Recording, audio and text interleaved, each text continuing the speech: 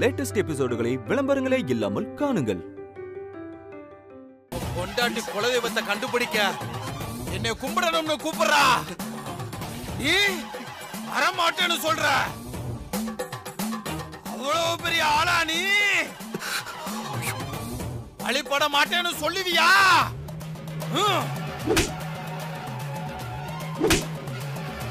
வா. வந்து என்ன வழிபடு.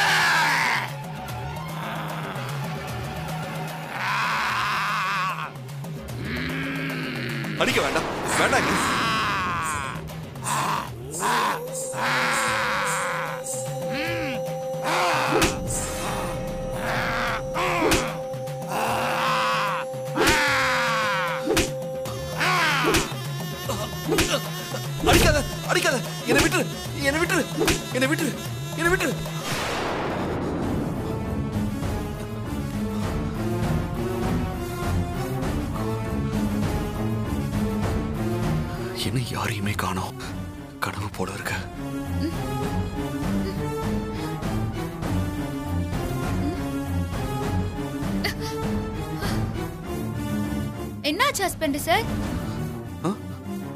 ஏதோ சத்தம் கேட்ட மாதிரி இருந்துச்சு. நானும் சத்தம் கேட்டு தான் எந்திரிச்சு பார்த்தேன். ஒன்றும் இல்லை. நீ படு. ஆ சரி. நீங்களும் படுங்க.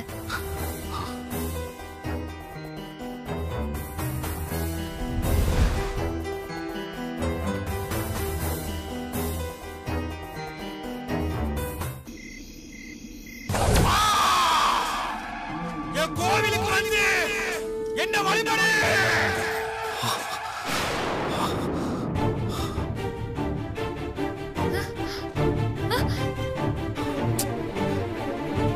ஹஸ்பண்ட் சார் என்னாச்சு? தூங்கலையா? ந- தூங்கு மாறி நான் தூங்குறேன். நீங்க முதல்ல படுங்க ஹஸ்பண்ட் சார். சரி.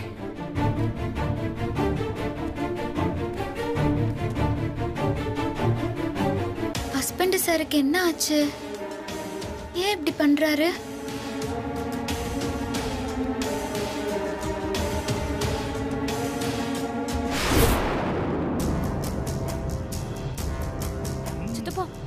நீ பேசு. ஆரம்பிங்க. சிஸ்டர் எதுக்காக இப்ப இந்த அவசர மீட்டிங்? இதெல்லாம் விளக்கமா கேளு. ஆனா ஒரு வேலை கொடுத்தா அத ஒழுங்கா செய்யாம சொதப்பி விட்டுரு. எல்லாரும் நல்லா கேட்டுக்கோங்க. சூர்யாவை பூஜை செய்ய விடாம பண்ணியாச்சு. இப்போ பூஜை ரூம்ல எரிஞ்சிட்டு இருக்கிற விளக்க அணைச்சிட்டா போதும். அப்புறம் கருப்பசாமி பூஜை நடக்காது. அவ்வளவுதானா ஆண்டி? இது என்ன பெரிய விஷயமா? நான் இப்பவே பூஜை ரூமுக்கு போய் விளக்க அணைச்சிட்டு வந்துடுறேன். பாத்துமா ஜாக்கிரதை. யாராவது பாத்துற போறாங்க. யார் கண்ணிலையும் படாம வேலையை முடிச்சிட்டு வா. ஓகே ஆல் தி பெஸ்ட்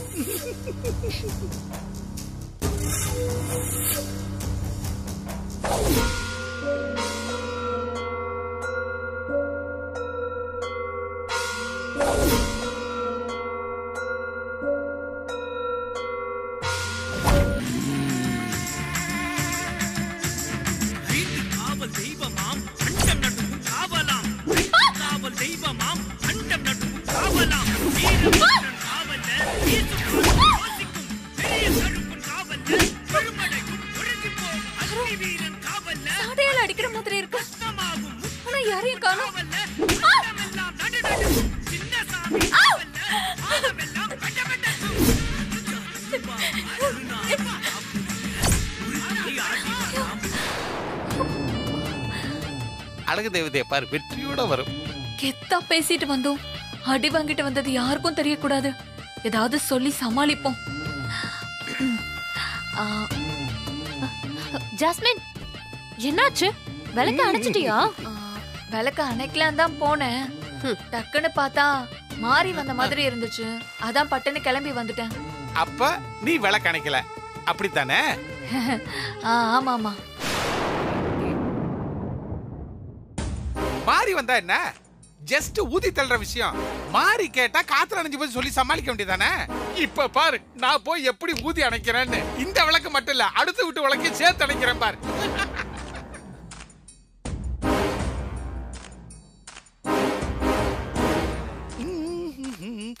நல்ல வேலை என்ன யாரும் பார்க்கல. ஆ, சீக்கிரமா வேலையை முடிச்சிட்டு கிளம்ப வேண்டியதான் சாமி என்ன மன்னிச்சிரு.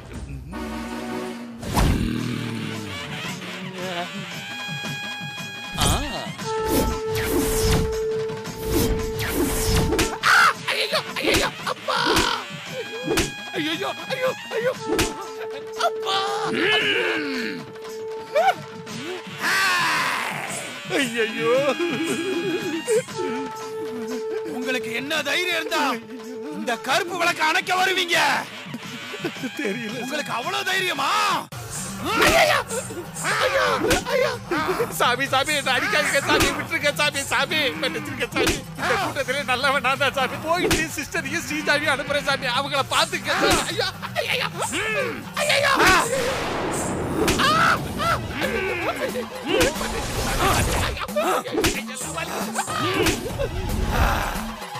ஐயோ மாரிக்கு சப்போர்ட்டுக்கு சாமியும் வந்துருச்சு.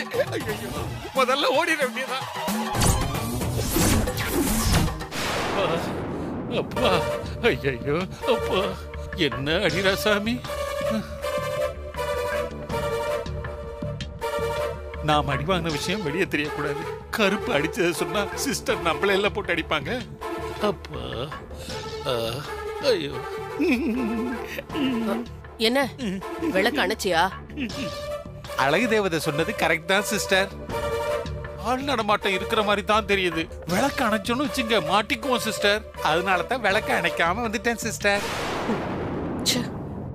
அங்கிளும் நல்லா வாங்கிட்டு வந்திருக்காரு போல இருக்கு. நம்மள மாதிரியே வெளியில சொல்லாம சமாளிக்கிறாரு. என்ன சித்தப்பா நீங்க? அத்தை சொன்ன மாதிரி எதுக்குமே நீங்க சரிப்பட்டு வர மாட்டீங்க நான் போய் அணைச்சிட்டு வரேன். போ போ. கருப்பு சாட்டியோட ரெடியா தான் இருக்கிறான். தோலை உரிச்சு தான் அனுப்புவான். ஆல் த பெஸ்ட்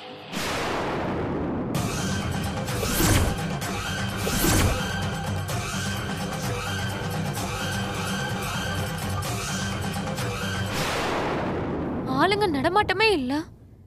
எதுக்கு ஜாஸ்மினும் சித்தப்பாவும் போய் சொன்னாங்க?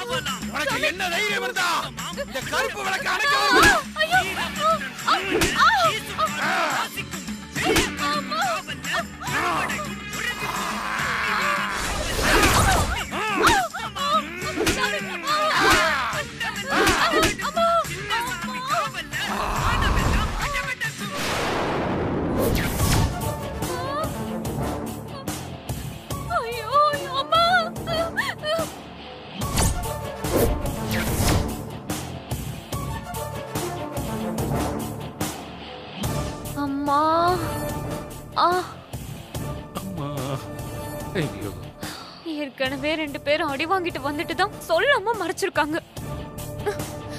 நாமளும் அதே ஃபாலோ பண்ணுவோம்.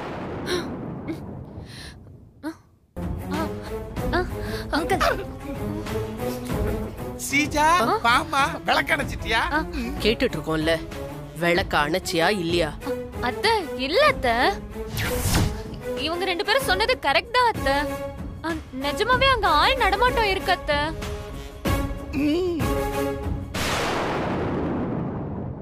உங்ககிட்டலாம் சொன்னது வேஸ்ட் நான் போய் இப்ப அந்த விளக்க அணைச்சிட்டு வரேன் பாருங்க. ஆல் த பெஸ்ட் சிஸ்டர் உண்மையாவே ஆள் இருந்தாங்களா? ஒய் பிளட் சேம் பிளட்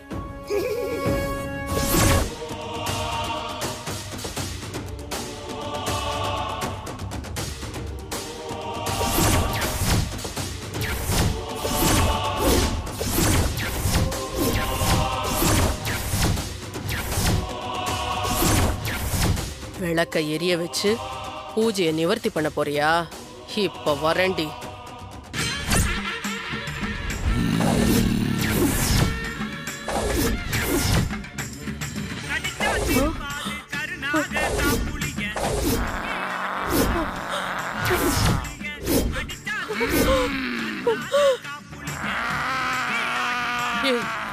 யார் நீ?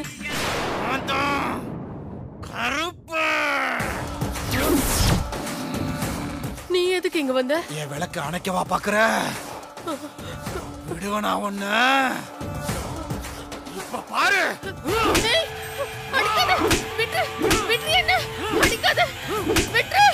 கருப்பு கிட்டே அவன் வேலையை காமிக்கிற?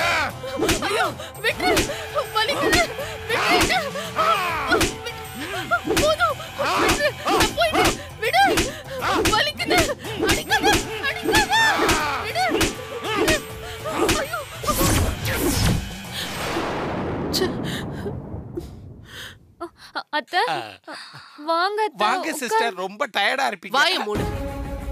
மூணு பேரும் போய் அடி வாங்கிட்டு வந்துட்டு எதுக்காக என்கிட்ட உண்மையை சொல்லாம மறைச்சிங்க? ஐயோ சிஸ்டர் அப்படியெல்லாம் இல்ல சிஸ்டர் நாங்க சொன்னா நீங்க நம்ப மாட்டீங்கன்னு தான் சொல்லல.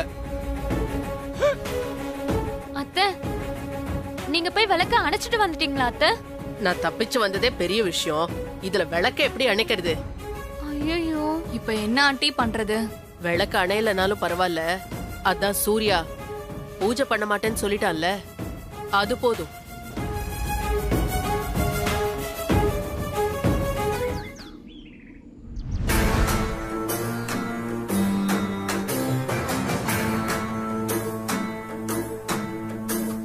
தேவி அம்மா குலதெய்வத்தை கண்டுபிடிக்கிறதுக்கு ஹஸ்பண்ட் சார் கையால கருப்புசாமிக்கு படையல் போடணும்.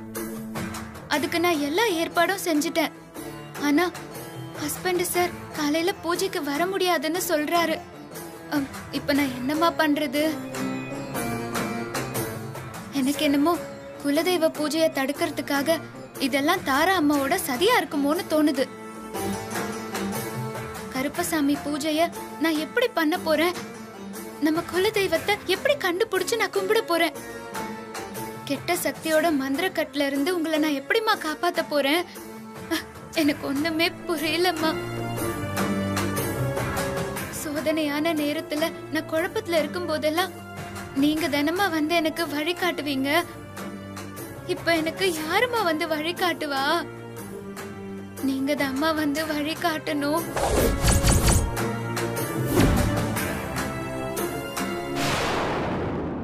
மாறி?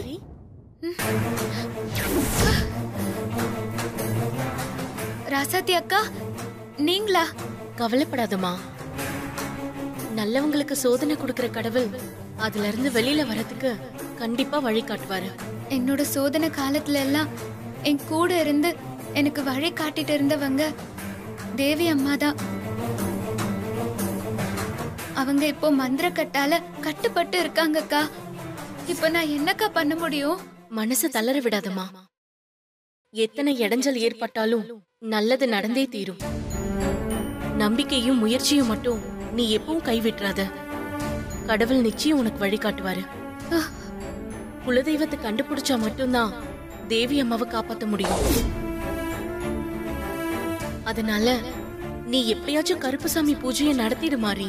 ஹஸ்பண்ட் சார் கையால தான் பூஜையை செய்யணும். ஆனா அவரு கோயிலுக்கு எல்லாம் வர முடியாதுன்னு சொல்றாரு. எல்லாத்தையும் நீயே பண்ணிடுன்னு சொல்லிட்டாரு. இப்ப நான் என்னக்கா பண்றது? நீ கவலைப்படாத மாறி கண்டிப்பா சூர்யா காலையில கோவிலுக்கு வருவாரு. அவரு கையால கருப்பு சாமிக்கு படைப்பாரு. எப்படிக்கா இவ்ளோ உறுதியா சொல்றீங்க? எனக்கு நம்பிக்கை இருக்க மாறி. கடவுள் உனக்கு துணையா இருப்பாரு. நீ நம்பிக்கையோட இரு. குலதெய்வத்தை கண்டுபிடிக்கிறதுல இருந்து நீ பின்வாங்காத. நான் உனக்கு பின்னாடி இருப்பேன். தேவி அம்மாவை எப்படியாவது நம்ம அந்த கெட்ட சக்தி கிட்ட இருந்து காப்பாத்தி ஆகணும். சரிக்கா நீங்க சொன்னதை கேட்டதுக்கு அப்புறம் என் மனசுக்குள்ளேயும் ஒரு நம்பிக்கை வந்திருக்கு. கடவுள் மேல பாரத்தை போட்டு ஆக வேண்டியதை நான் பாக்குறேன். எப்படியும் தேவி அம்மாவை காப்பாத்திடணும்க்கா. உன் நல்ல மனசுக்கு எல்லாமே நல்லதே நடக்கும்.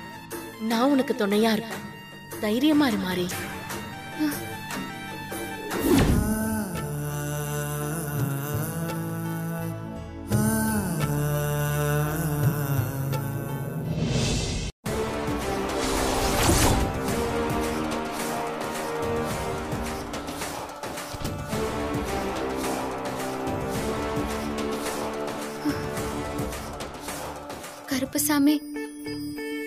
என்னதான் நம்பியிருக்கேன். நம்பி இருக்கேன் எப்படியாவது ஹஸ்பண்ட் சார் மனச மாத்தி அவரை உன் சன்னதிக்கு வர வச்சு அவரு கையாலேயே பூஜை பண்ண வச்சு எனக்கு குலதெய்வத்தை காட்டி கொடுப்பா.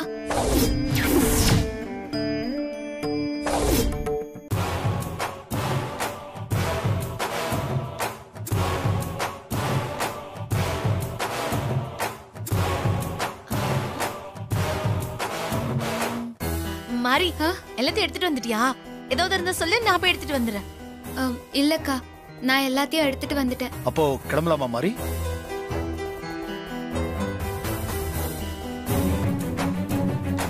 மாறி அங்க என்ன பாக்குற? அதான் உங்க ஹஸ்பண்ட் சார் நேத்தே சொல்லிட்டார்ல எனக்கு எங்க அம்மாவோட ஹெல்த் தான் முக்கியம்னு.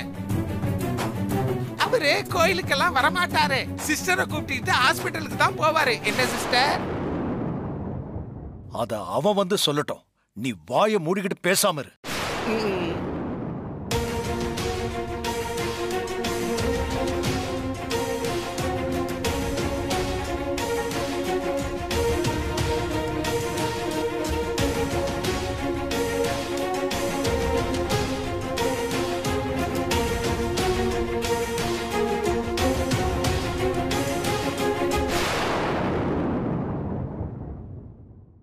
சூர்யா ஹாஸ்பிட்டலுக்கு போலாமா?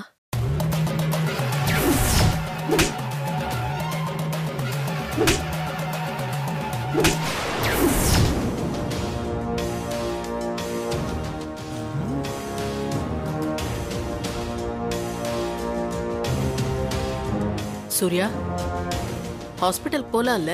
அம்மா அது என்ன? மாப்பிள்ளை ஏதோ தயங்குற மாதிரி தெரியுது. என்ன சூர்யா? வா போலாம். இல்லம்மா. நீங்க ஜாஸ்மினை கூட்டிட்டு போங்க.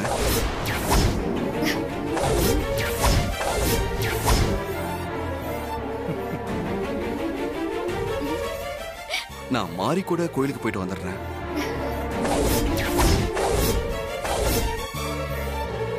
என்ன சூர்யா திடீர்னு இப்படி சொல்ற? என்னாச்சு உனக்கு? ஓவர் நைட்ல என்னப்பா நடந்தது? அது ஒண்ணும் இல்லம்மா. நல்லா யோசிச்சு பார்த்தேன். மாறி நம்ம குடும்பத்துக்காக தானே இது எல்லாமே பண்றா?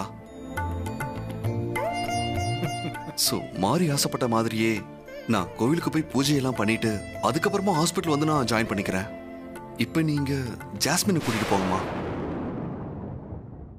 கருப்பசாமி ஹஸ்பண்ட் சார் மனச மாத்தி என் வேண்டுதலை நிறைவேத்தி கொடுத்துட்ட. ரொம்ப நன்றிப்பா. இல்ல சூர்யா நீ என் கூட இருந்தா எனக்கு ஒரு ஆறுதலாவும் தைரியமாவும் இருக்கும். நீங்க ஜாஸ்மினை கூட்டிட்டு முன்னாடி போங்கம்மா. நான் பூஜையை முடிச்சுட்டு சீக்கிரமே வந்துடுறேன். நான் வந்ததுக்கு அப்புறம் உங்க கூட தானே இருக்க போறேன். இல்ல சூர்யா. அதான் சூர்யாவே சொல்றான்ல. பூஜையை முடிச்சிட்டு வரேன்னு. அப்புறம் என்ன உனக்கு?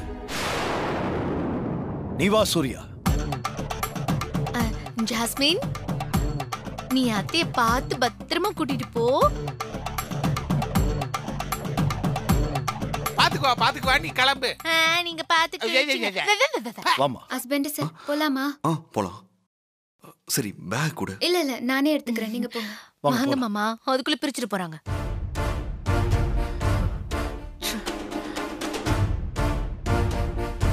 சிஸ்டர் தலையின மந்திரம் தலையின மந்திரம்னு சொல்றாங்களே அது இதுதானா சிஸ்டர்?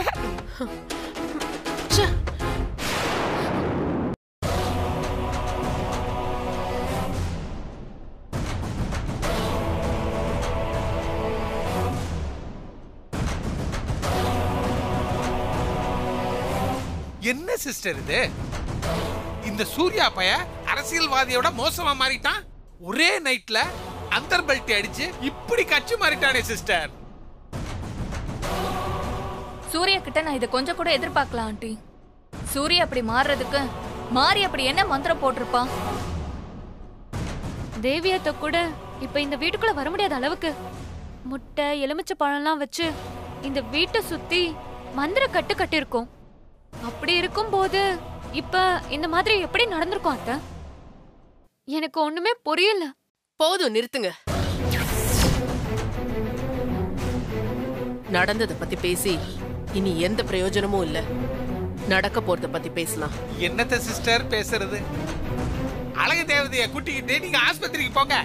சூர்யா பூஜையை முடிச்சிட்டு அங்க வந்துருவான். நான் ஹாஸ்பிட்டலுக்கு போறதை விட நீங்க மாரியோட பூஜைக்கு கிளம்பி போங்க. இப்ப அதுதான் முக்கியம்.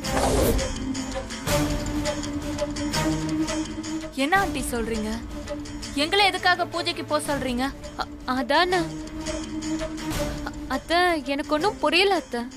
குலதெய்வத்தை கண்டுபிடிக்க நடக்கிற இந்த பூஜையில அந்த கோயில் பூசாரி அருள் வந்து சொன்னாதான் குலதெய்வத்தை கண்டுபிடிக்க முடியும். அதனால பூசாரி யாருன்னு பார்த்து அவரை தூக்குங்க. சிஸ்டர் என்ன சிஸ்டர் இப்படி சொல்றீங்க? கல்யாணத்தை நிறுத்துறதுக்கு சீப்பை ஒளிச்சு வச்ச கதையால இருக்குது? முட்டாள். என்ன முழுசா பேச விடுறியா? முந்திரி கொட்டை மாதிரி முந்திக்கிட்டு வராத. ஆண்டி நீங்க சொல்லுங்க ஆண்டி. எப்பவும் குறி சொல்ற பூசாரிய தூக்கிட்டு அவருக்கு பதிலா நம்மாள் ஒருத்தரை பூசாரியா ஏற்பாடு பண்ணி அருள் வந்த மாதிரி குறி சொல்ல வைக்கணும். அருள் வந்த மாதிரி போலியா குறி சொல்றவங்க? நிறைய பேர் இருக்காங்க அத்தை. நாம அதெல்லாம் பண்ணிரலாம். ஆ, அது பண்ணா நமக்கு என்ன பிரயோஜனம் அத்தை? நாம ஏற்பாடு பண்ற ஆளு கருப்பு சாமி வந்த மாதிரி சாமி அடி அந்த மாரிய சாட்டையால அடிக்கணும். ஆ? இவளால குலதெய்வத்தை கண்டுபிடிக்க முடியாது. இவளுக்கு அந்த தகுதி இல்லைன்னு சொல்ல வைக்கணும். கோவில்ல அத்தனை பேருக்கு முன்னாடியும் அசிங்கப்படணும். அதுக்கப்புறம் அவளால குலதெய்வத்தை கண்டுபிடிக்கவே முடியாது மாரியால தேவிய பார்க்க முடியாது பேசவும் முடியாது